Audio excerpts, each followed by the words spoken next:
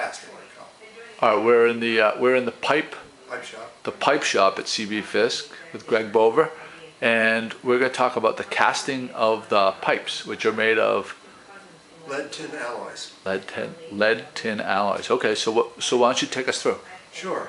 Well, we start with uh, ingots, we call them pigs, of lead and tin, and melt them in this cauldron. There's a gas fire. How heavy is furnace. Um, well, those are just little ones that are extra. Um, they come in uh, 70 pound pigs. That's seventy pounds? No, those are uh, ones that we cast ourselves from scrap. Oh, okay. Um, the, uh, the way they come, they come like this. And how much does that weigh? This weighs about 50 pounds. Can you bring it this way? Sure. Okay, that's fifty pounds. wow. So we start with lead and tin, and we can put a thousand pounds in this furnace and melt it. So you wind up with a half ton of whatever alloy you want to make.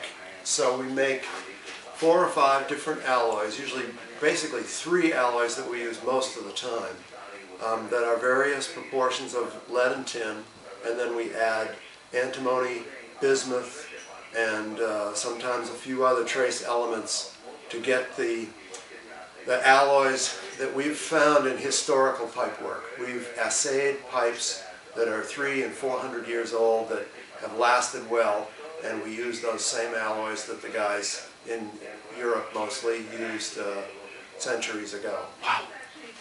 So you melt the liquid metal here, and you have, uh, as I say, about a thousand pounds. And then your camera is set up on a very long table that's actually three inches thick granite slab. And it's covered with Nomex, which is what firefighters and race drivers wear. It's a cloth that doesn't burn. Ah. We have this uh, CDX on the top just for protecting it while we're not using it. But it's a cloth covered granite slab and the cloth is pulled tight by these springs. And then both edges of the table are graphited because this sled is made to fit the table and it slides down the table like this. Uh huh. So what's on the sled? What do you? What, So you take the liquid metal and wearing protective clothing, um, gloves and face shield and all that kind of stuff, you ladle the liquid metal out of the pot and into this tipping pot here. So might take five or six scoops. A scoop will be 25 pounds. And you put it into the tipping pot. And then this is a three-person operation. So it's like a, a dance for three people. Uh, so one person takes this high temperature thermometer and sticks it in the liquid metal here. And you wait until it cools to exactly the right temperature. So you have it in the furnace too hot, ladle it out, and it goes in the tipping pot and you wait till it cools down. You can take pieces of the same alloy and stick them in here just like ice cubes and bring it down to the right temperature. uh, right. And that temperature depends on the alloy, and it depends on the temperature of the air, and it depends on how long you've been casting, because the table heats up too. So when it's the, just the right temperature, two people hold the sled, and one person pours the liquid metal into the sled, like this.